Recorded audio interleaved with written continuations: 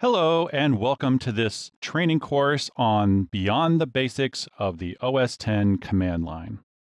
I am Chris Tarnowiecki. I'm also known as Tarny. You can find out more information about me at my website at www.tarnyinc.com, or you can follow me on Twitter at Tarny the Trainer.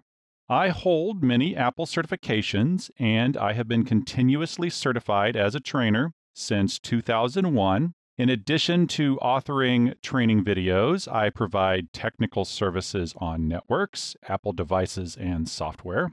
I teach OS X and server information technology courses in my facility in Cincinnati, Ohio.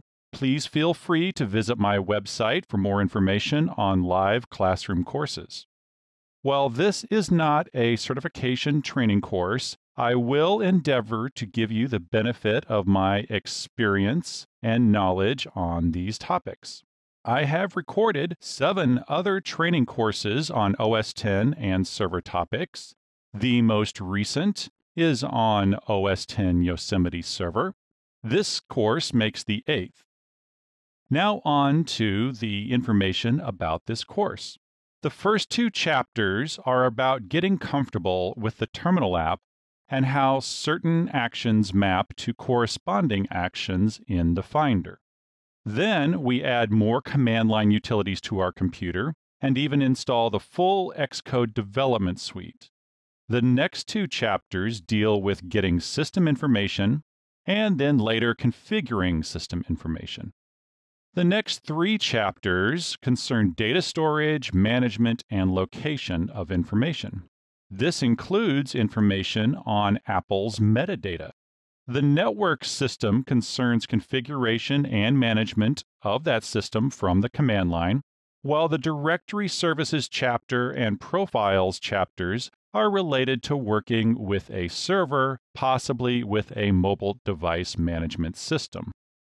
The chapter on keychains presents information about this very important part of Apple security, and the chapter on data transfer and remote management will allow you to remotely manage your computers without resorting to third party applications. In the next chapter, there is much to be learned about software, whether installed via App Store or installer package.